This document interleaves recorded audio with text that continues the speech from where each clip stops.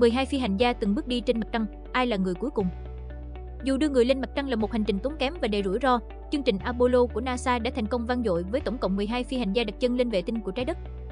Nhiệm vụ lịch sử đầu tiên, Apollo 11, đưa Neil Armstrong và Buzz Aldrin trở thành những người đầu tiên đi bộ trên mặt trăng vào ngày 20 tháng 7 năm 1969. Chỉ 4 tháng sau, Apollo 12 tiếp nối hành trình khi hai phi hành gia Charlie Pitt Conrad và Alan Bean hạ cánh tại vùng Ocean of Storms, mang về các bộ phận của tàu Surveyor 3 từ mặt trăng. Sau Apollo 13 gặp trục trặc trên đường đến mặt trăng và buộc phải hoãn hạ cánh.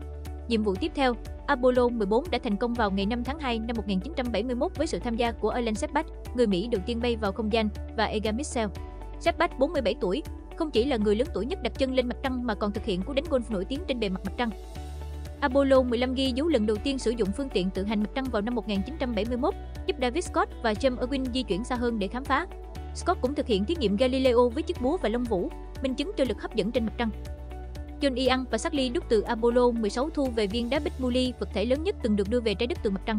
Cuối cùng, Egan Cernan và Harrison Smith, hai phi hành gia của Apollo 17, thực hiện nhiệm vụ kéo dài nhất trên mặt trăng vào tháng 12 năm 1972.